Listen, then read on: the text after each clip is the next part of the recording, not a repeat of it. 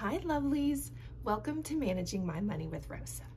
Today we're going to, well, expose a little secret that I've kept and that is my side hustles and things that I do to earn a little bit of extra money here and a little bit of extra money there.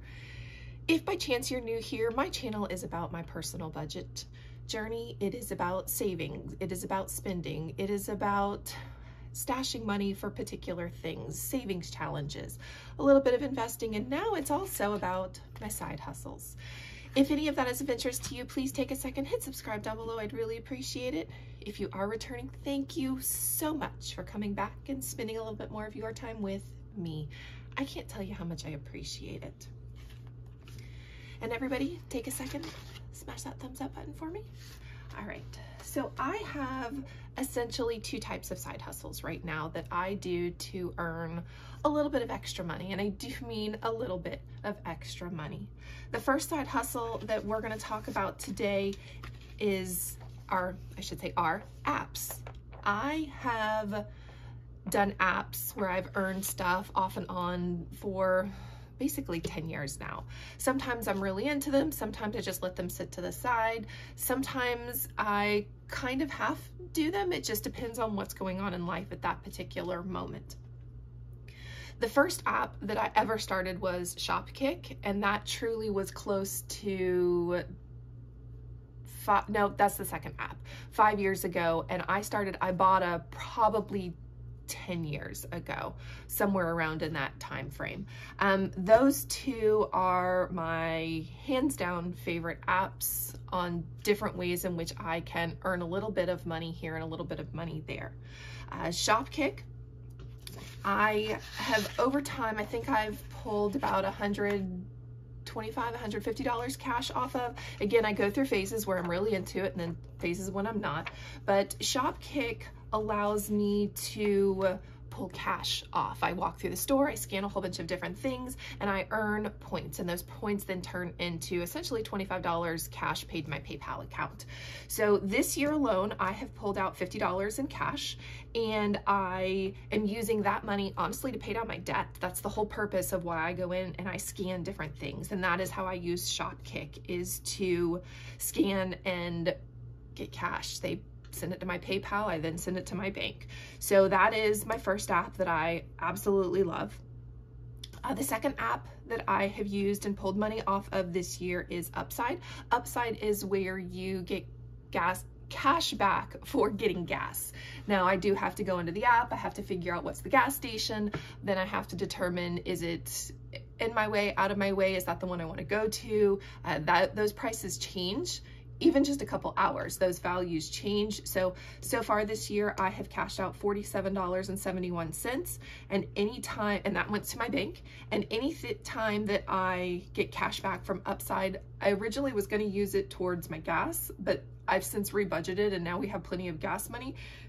So I'm now using that as debt money. So I've pulled another $47 and put that towards debt.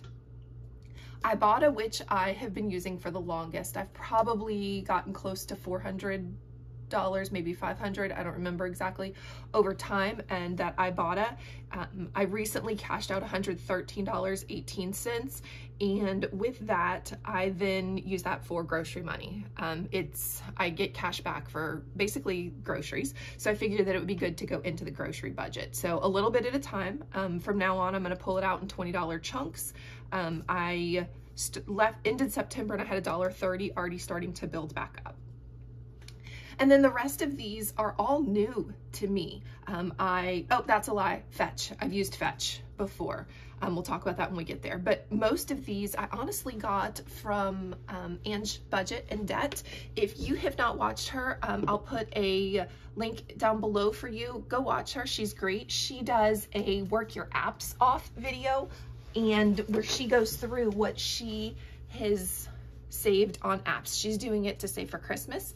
Um, I'm saving mine for something completely different, but that's where I got this idea from was seeing how much she has saved this year for Christmas is astonishing. So I thought, huh, I can do some of that. So the rest of these, with the exception of Fetch, um, I got from her. So Cashwalk, is where I get points for steps I take during the day. I put my phone in my pocket to make sure I catch most of my steps. There are some times when I just don't, but I catch them and I earn points. And then basically every 1500 points, I can earn gift cards. Um, last month alone, I earned two gift cards. And I get that it's only $6, but guys, that's a trip to Dunkin' for me. And if you know, and if you've been around, you know Dunkin' steals my cash. So this $6 it's it's changing. It's one trip to Dunkin' that I don't have to worry about where that money's coming from.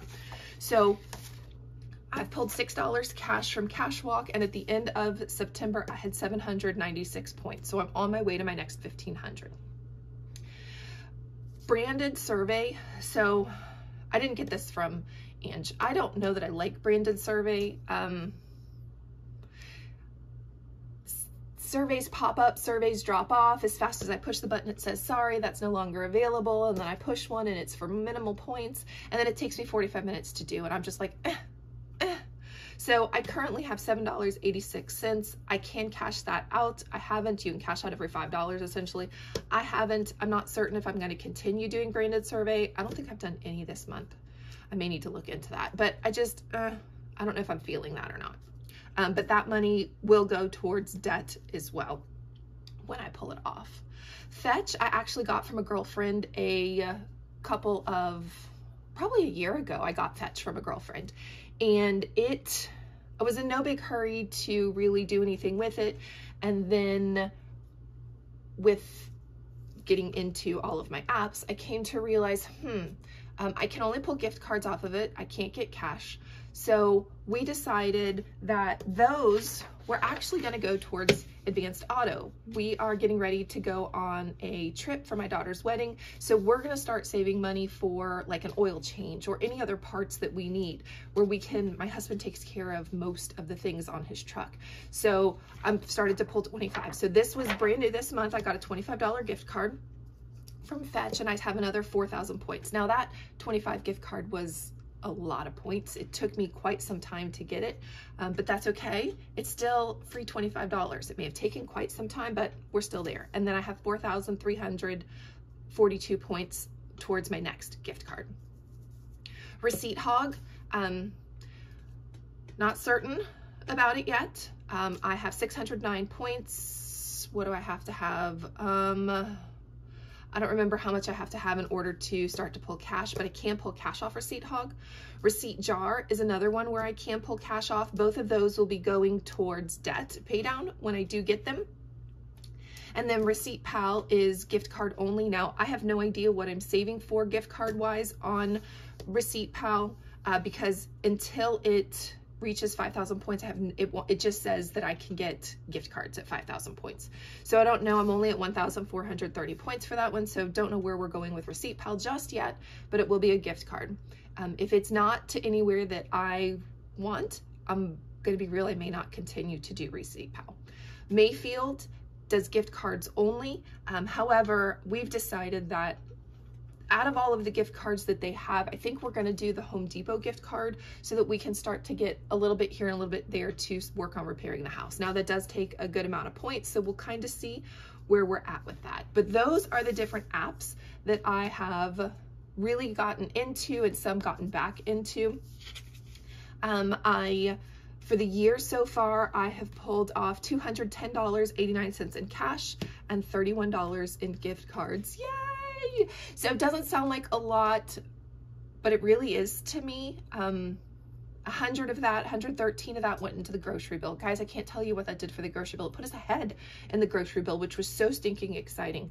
Now, there are some some catches to these. Like Ibotta, sometimes I get wrapped up in, oh, I can get cash back if I get this. And it's not something that I would normally buy. So I have to be very careful with Ibotta um, because I do sometimes get that way. But I have paired Ibotta and Family Dollar and Dollar General together. Um, and I now, I don't know if you're aware, um, it's not a side hustle, but it's a way that I save money. Um, on Saturdays, Dollar General and Family Dollar give you a $5 off $25 coupon every stinking Saturday. And it's where we go get a lot of our paper products, guys.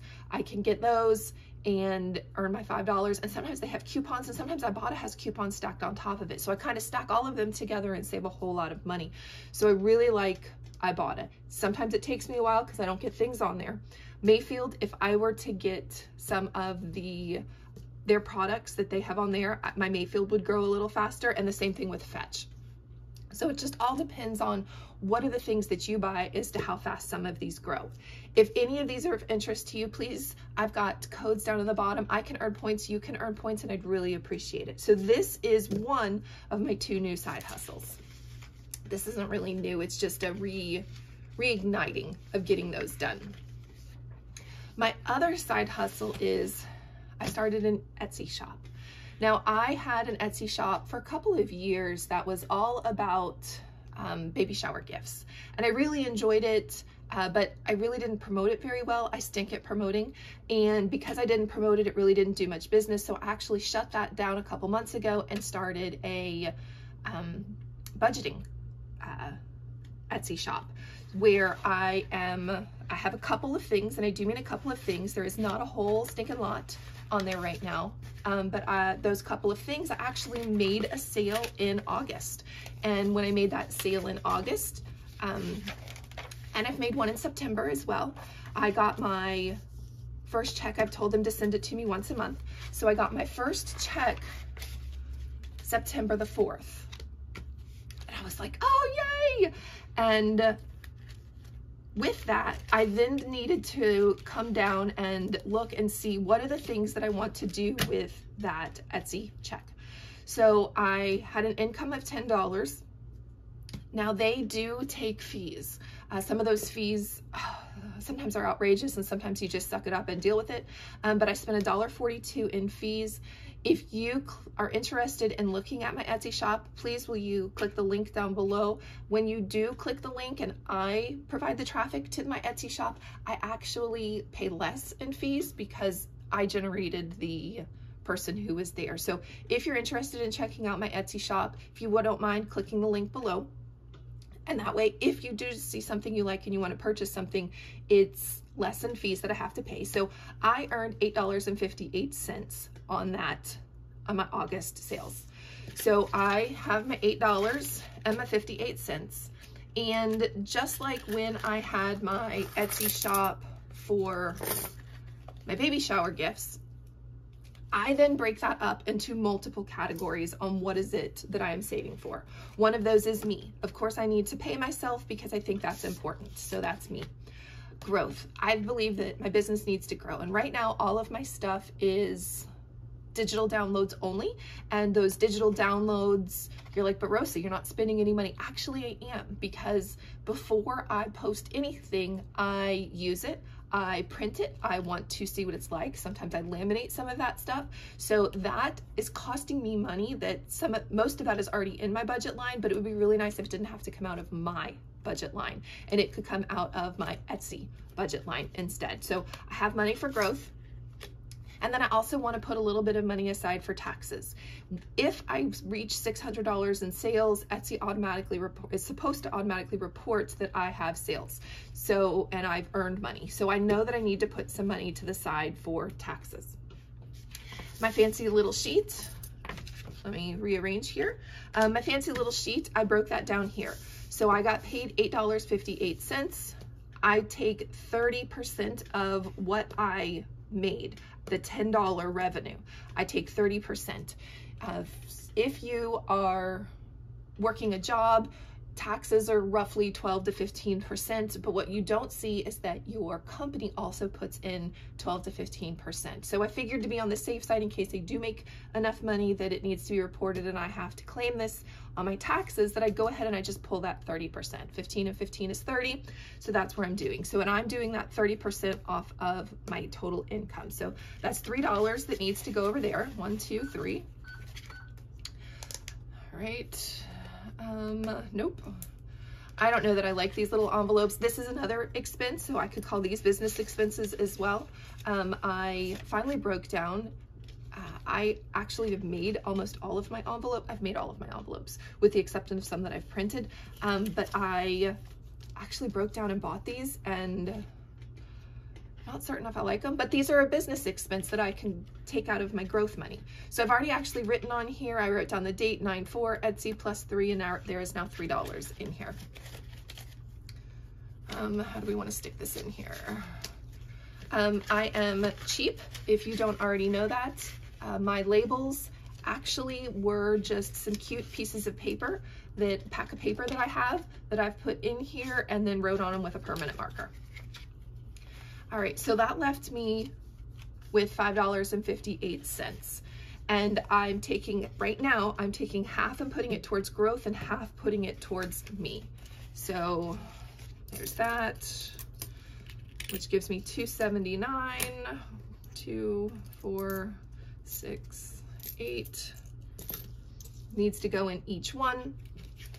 Um, I will slowly over time change this from everything going into 50-50 to I get paid a little bit more as I need to stop buying less things.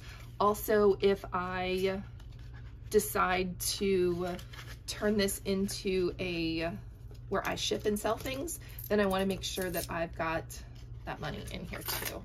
So let's zip up my growth, me, and I've already written on the labels um, just trying to get ahead so that you didn't have to sit and watch me do all of that. So I put 279 into each one and I dated it on the 4th.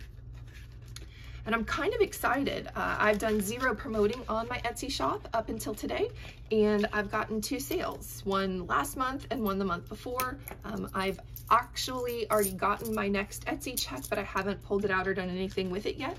So definitely gonna take care of that and just thank you. I will do a video later on what I have in my Etsy shop, plus the things that are coming to my Etsy shop. But if you would like to go check it out now, please click, click the link below. And I have links to all of my different apps that I use. So if you are interested in any of them or want to check any of them out, again, benefits you, benefits me.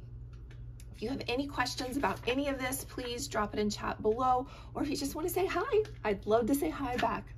I hope you have a great day, guys. Bye.